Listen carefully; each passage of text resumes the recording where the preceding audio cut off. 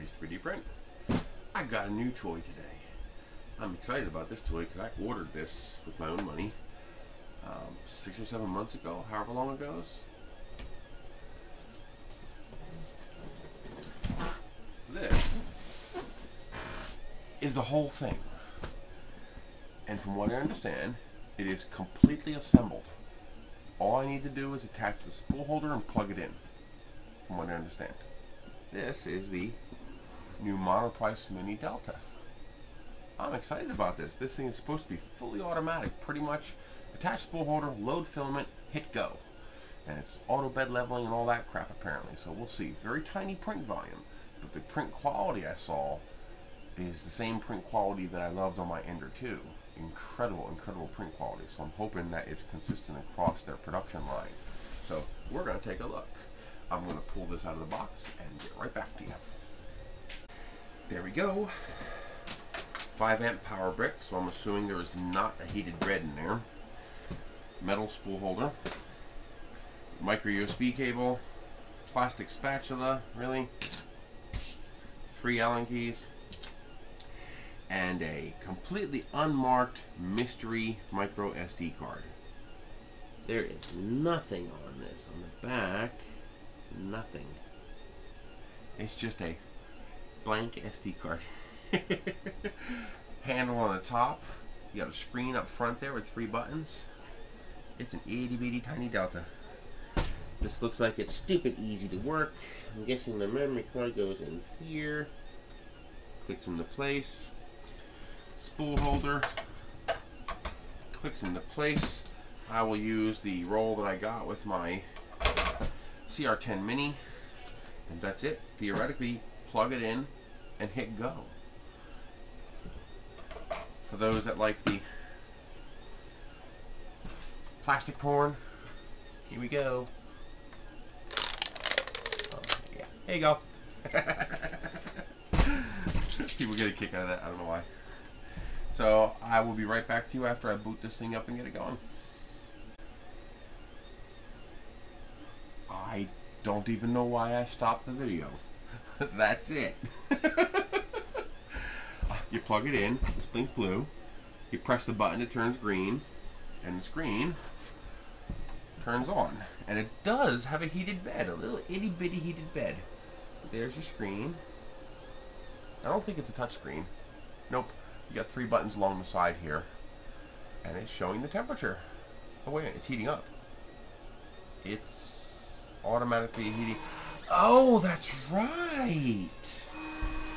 I believe this thing will automatically print if you name the file correctly on the SD card. It's a noisy little bugger. So, it's trying to print something that it can't print. Because I didn't load filament yet. I'll be right back as I load filament. It would appear it has power off resume. As soon as I load the filament and turn it back on, it started going. Which kind of sucks because I got that big splooge pile that was in the way when I loaded the filament. Can you guys see that? And it's sticking, whatever it's doing. Uh, let me show it to you this way. Since this way has the screen. Actually, let me just bring you guys down here.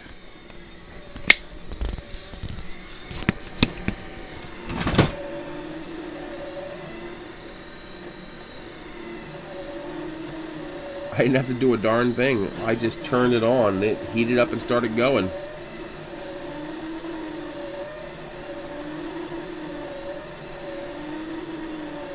It's a noisy little bugger as you can hear, but I didn't have to level it. I didn't have to do anything. I just turned it on. I'm going to pause you guys for a minute while this prints some more. Since the build video is pretty much non-existent, we'll have a print video too. So I'll be right back. That's it. It's done. I got a time lapse too.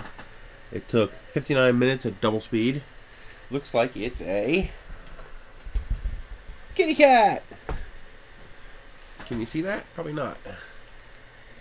There it is. Kitty cat. Let's see how easily it comes off. It's on a raft, so I imagine, yeah, it'll come off pretty easy.